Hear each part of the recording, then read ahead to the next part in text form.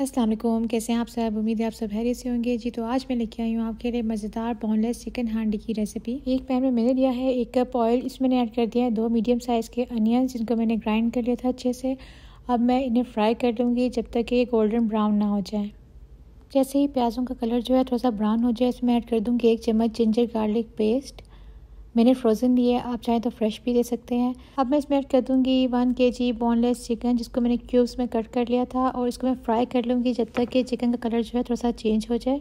अभी मैं इसमें ऐड कर दूँगी एक से डेढ़ टी स्पून सॉल्ट और एक teaspoon black pepper powder आप अपने हिसाब से भी ऐड कर सकते हैं। अब मैं इसे अच्छी तरह से फ्राई कर लूँगी। तकरीबन दो मिनट फ्राई करने के बाद अब मैं इसमें ऐड कर दूँगी ज़ीरा पाउडर एक टेबल स्पून एक टेबलस्पून सूखा धनिया पाउडर हल्दी मैं इसमें ऐड करूँगी हाफ़ टी स्पून लाल मिर्च पाउडर मैं इसमें ऐड करूँगी एक टेबल स्पून अब मैं इसे अच्छी तरह से कुक कर लूँगी तकरीबन एक मिनट के लिए. यहाँ आप देख सकते हैं सभी मसाले जो हैं वो चिकन के साथ अच्छी तरह से भुन गए हैं.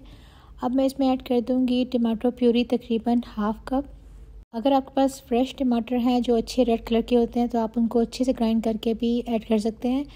लेकिन टमाटर प्यूरी से इसका कलर बहुत ज़बरदस्त आता है। टमाटर प्यूरी ऐड करने के बाद मैं इसको तकरीबन एक मिनट के लिए भून लूँगी अच्छी तरह से। चिकन को तकरीबन एक मिनट के लिए टमाटर प्यूरी के साथ हमने फ्राई करना है। अब मैं इसमें ऐड कर दूँगी एक कप पानी। पानी ऐड करने के बाद इसकी जो है अच्छी सी ग्रेवी बन जाएगी। इस ग्रेवी को आपने कुक करना है तकरीबन 15 मिनट के लिए लो फ्लेम पे। या मैंने इसको कवर करके रख दिया है 15 मिनट के लिए।